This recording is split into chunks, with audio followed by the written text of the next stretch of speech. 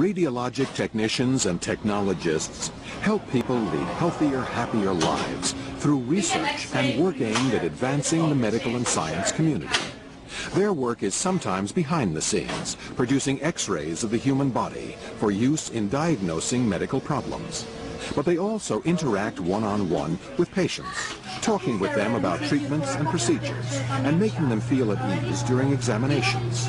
If you're interested in this career, you should be prepared to spend long hours standing and walking. You must also perform duties such as creating work schedules and maintaining equipment.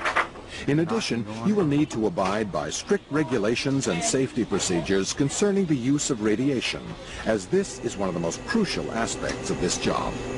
Technicians and technologists must ensure that they protect themselves, their patients, and their co-workers from overexposure to radiation by wearing protective gear and badges that measure radiation levels and keeping detailed records of their cumulative lifetime dosages.